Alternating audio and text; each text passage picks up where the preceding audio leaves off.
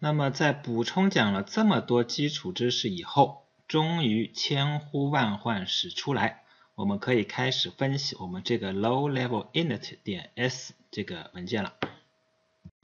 那么这个文件的路径呢，我们前面已经讲过，是吧？在 board，因为这个都是底层的初始化，基本上是外围设备初始化，所以在 board 这个目录下面，board 下面 sunsum，上次我们说到用 Goni 这个开发版的下面是吧，有一个 low level init 点 s，我们就打开这个文件。首先呢，还是跟往常一样，我们可以看到一堆头文件是吧？这个头文件主要包括下面三个：CPU 点 h、Clock 点 h 和 Power 点 h，待会儿会用到。那么我们往下看，第一个，它定了一定义了一个标号 test base，在这个 test base 里面呢，放了一个数字，这个数字是什么呢？叫 config systext base 这个数字。那么这个数字的值等于多少呢？或者说在哪里定义的呢？在同一个文件夹下，也就是说在 s board sunsum goni 下面跟 low level init 点 s 平级的一个文件叫 config 点 mk 下面定义的。我们打开这个 config 点 mk 文件，可以看到里面一大堆注释，没有别的内容，只有一个，就是定义的这个值 config systext base 等于 0x34800000。那么这个位置在哪里呢？我们打开三星的 S5PV210 的手册，然后翻到二十页，看一下二十页是这个 Memory Map 是吧？放大一点。好，Memory Map 里面三四八零零零零零这个位置呢就在这里，也就是说你可以看到 DRAM 总共包含一个 G 的空间，那么从二零零零到五零零呃到六零零零零零一共有一个 G 的空间，这个一部分呢一段是五百十二兆，也就是说最后这个内核这个 text 段的起始位置会被加载到这个位置附近。好，回到我们的原文件，我们接下去看，它先是点 global low level init，就是说明这个标号是一个全局标号，在别的文件里面可以调用这个子过程，是吧？然后呢，头两句很简单，先把 LR 就是链接寄存器的值放入 R 十一当中，然后呢，再把零放入 R 五当中。那么由于这个文件当中啊，low level low level init 点 s 这个文件当中用到的寄存器数量比较多，所以我大家我建议大家呢跟我一样做一个表格。那做一个表格，然后根据一步一步的程序运行呢，把当前的寄存器值就放到或者说写到这个表格当中，这样一步步来手工的推演会比较方便一点。那么我建议大家在随后的讲解当中呢，跟着我一起做一做，你也做这样一个表格，也这样做一步一步的这样的推演来看一看，好吧？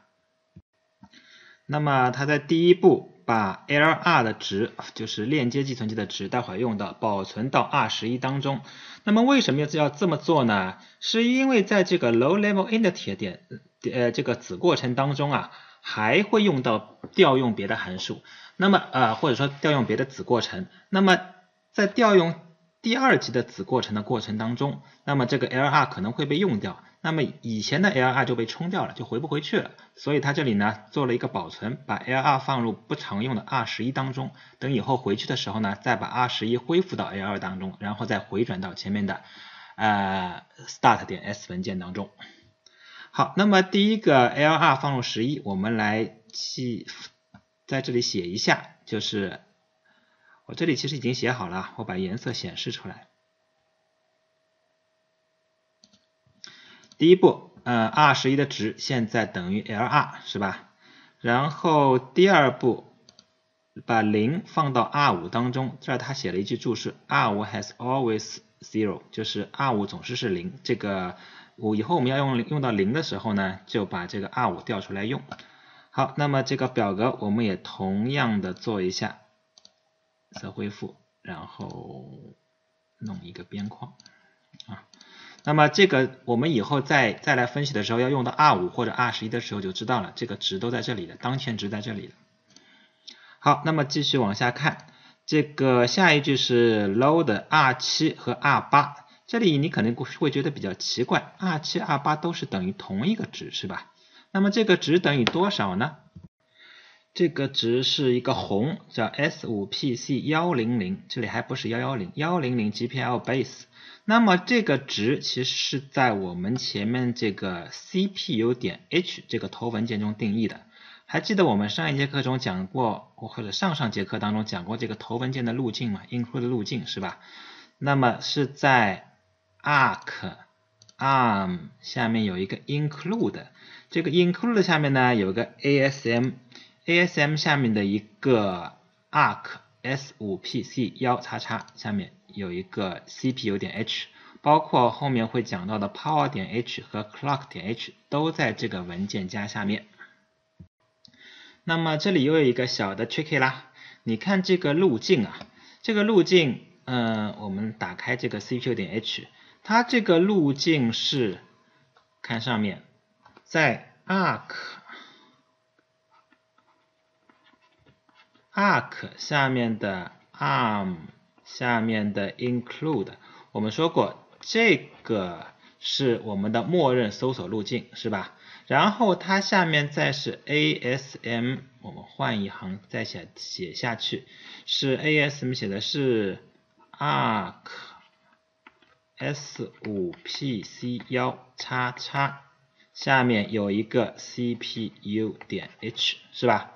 但问题在于，我们在我们的 low level init 点 s 的定义当中，这个定义是 asm arc cpu 点 h，这个很简洁，没有我们这个一大堆什么 s5pc 幺叉叉这么麻烦的东西。它的路径，那这个是默认的搜索路径。对吧？然后那个它的在头文件里面是这么写的，就是一个这个接下去就是一个 ASM 这个不变，然后下面就是一个 ARC，然后这个 CPU 点 H，是吧？没有这一串东西。那么这个是什么原因呢？这个我在 Windows 里面我们可能看不出来，这个在 Linux 我们编译一遍就知道了。究其原因是在编译的时候，在 Makefile 里面。在这个路径下面，ASM 这个路径下面做了一个软链接，建了一个软链接目录，叫 ARC，把这个 ARC 指向了这个实际的目录 ARC S5PC 幺叉叉，所以它包含这个头文件里面包含这个路径 ARC ARM 啊 ARC ASM ARC CPU 点 H 就等于这个 ASM 这个一大串东西 CPU 点 H。下面的 clock 点 h 和 power 点 h 也是差不多同样的意思。好，回到源代码，那么我们知道了这个定义以后，就是在这里 CPU 点 h 里面的 GPL base 是吧？这个值。然后呢，这个值我们现在在 S，这是幺幺零里幺零零里面的值，在幺幺零里面我们现在没有这个值，姑且没有，所以先放过，不管它。看下面一个 load l r l d r 二等于什么呢？等于 s 五 p c 幺幺零 pro，嗯，这个是 pro id，就是芯片的 id 号。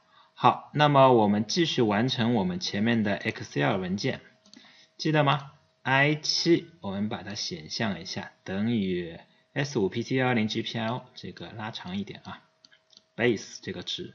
那么 r 八呢？前面也是同样的一个值，是吧？前面写的行号，再拉长一点啊，L 五十一行，L 五十二行，那么这两个值已经赋予了。那我们再下再看这个表格，接下去我们的 R two 也把这个值放进去了，是吧？再回到这个表格，在 R 二这里。然后呢，把它显现出来。这个我是已经预先做好了。你们同学大家在在自己做的时候呢，还是要一个一个打进去的，是吧？这个以后你分析一般分析汇编文件用到多寄存器的时候，就基本上这么分析。好，二二这个值我们也已经放进去了，是吧？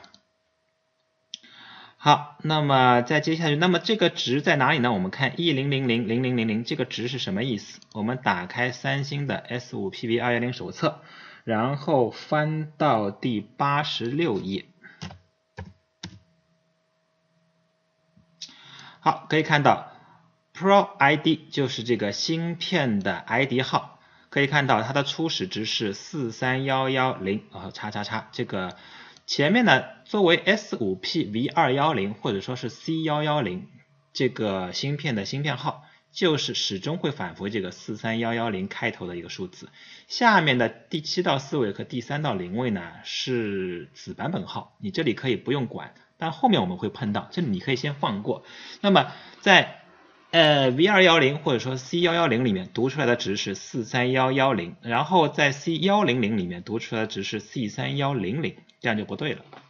啊，这两个值是不一样的，所以待会儿可以判断，就是在这个程序里面，low level init 点 init 点 s 里面可以判断目前运行的到底是哪一块芯片。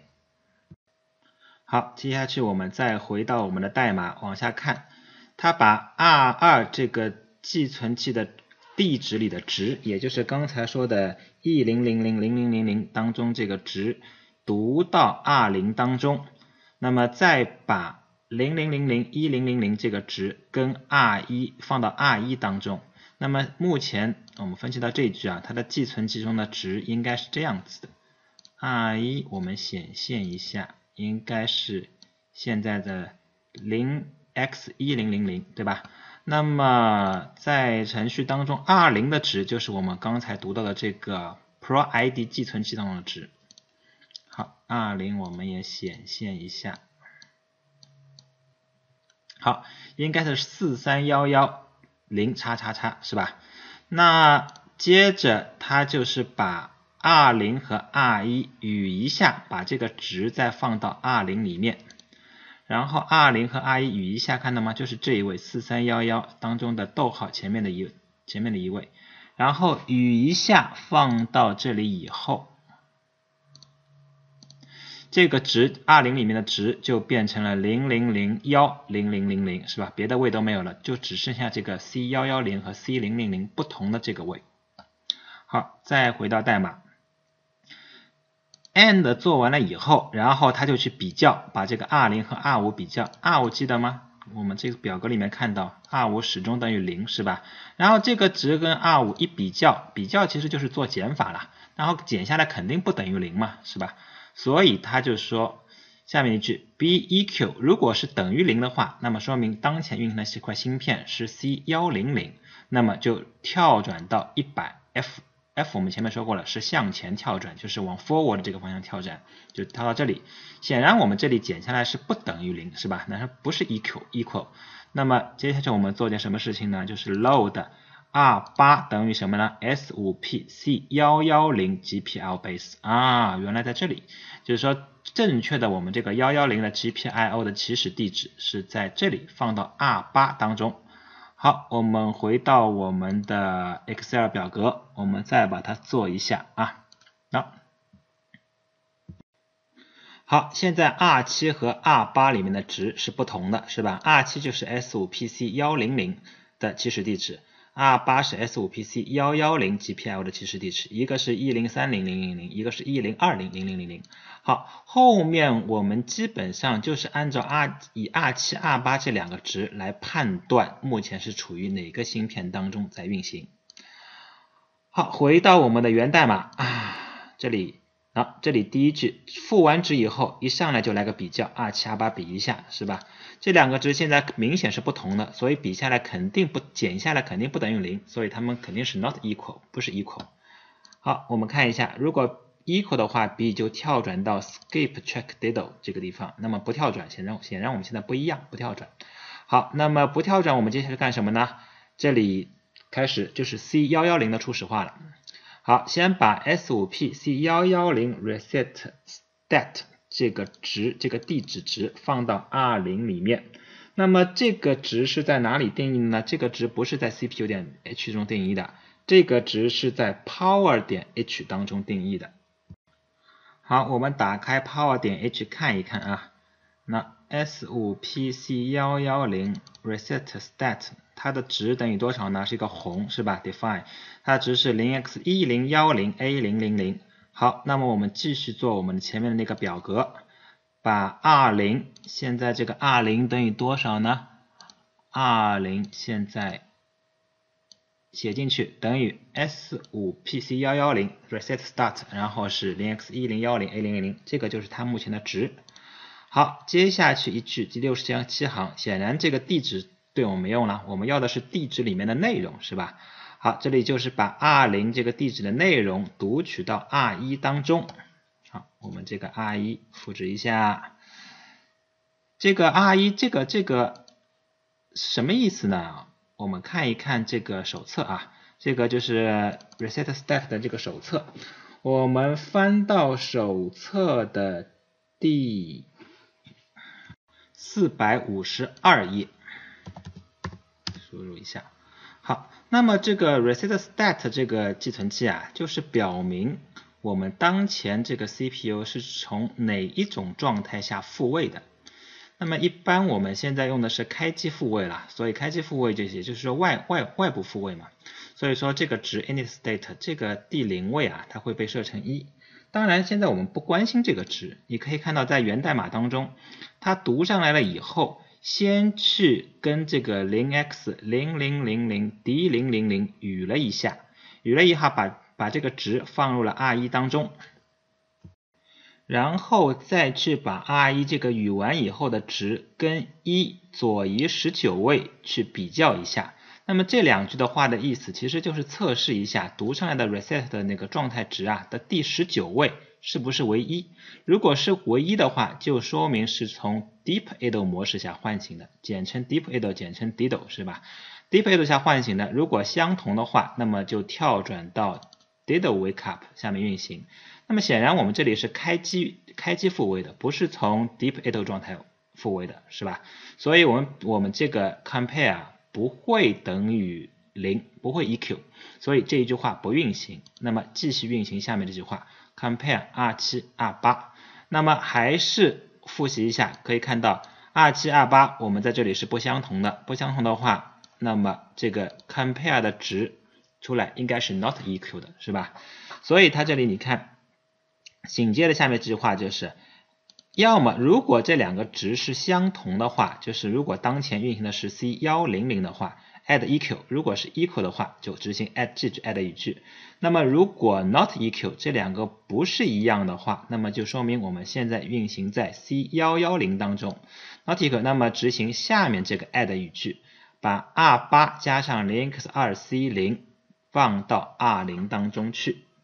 那么现在这个 r 零值等于多少了呢？我们用这个 Excel 表格来看，r 零现在就等于 r 八加上二 c 零是吧？显现出来就等于一零二零加上二 c 零就是零二 c 零这个值。那么这个值我们翻到这个手册的第一百七十八页，我们看一看这个值是多少。好，可以看到这个值就是 GPJ4 con control 的基础地址，也就是说下面这一段代码都是用来操作或者说是配置初始化 GPJ4 的。那么 GPIO 的初始化我们已经很熟悉了，是吧？已经做过两个实验了。那么这里我们可以顺便来看一看它是怎么做的啊。首先，它就把 r 零的值，就是 GPJ 四 condition 这个值读到 RE 里面去。那么我们这里做一下标记，把这里显现一下，做一下标记。那么 r 一现在等于 GPJ 四 con control 这个值，是吧？好，接下去它把 r 一这个值呢，第呃零第四位到第七位给清零，也是零 xf，零 xf 是嗯。这样子写一写吧，还是，就是说零 x f 是吧？左移左移四位等于什么呢？等于零 x f 零是吧？然后他把零 x f 零与这个 r 一去 bic 一下，也就是说把 r 一的这个第七到四位给清零。对吧？设成零，给清零。然后呢，在 all 把这个一啊，再左移四位给放到 r 一里面去。那么这四位不是本来清零了吗？那么再把这个一放进去，跟一或一下。那么 r 一的第七到四位现在就等于零零零一。那么 R 一的七到四位等于零零零一，我们看一下手册代表了什么意思啊？还有这里 R 一 R 一做完没用，R 一写完没用啊，还要写回去。那 R 一配置完了以后，还要回写到 R 零这个寄存器里面去。那么我们看一看 R 一的第七到四位设成零零零幺是什么意思啊？看手册啊，GPJ4 condition 第七到四位设成零零零幺，就是把这个 GPJ4 坑的一，就是说 GPJ，我们现在从这个手册上可以看到 GPJ4 一共有零一二三四五个口是吧？它就把 GPJ4 的第一个口配置成。呃，output 输出是吧？好，这个是很简单的一个操作。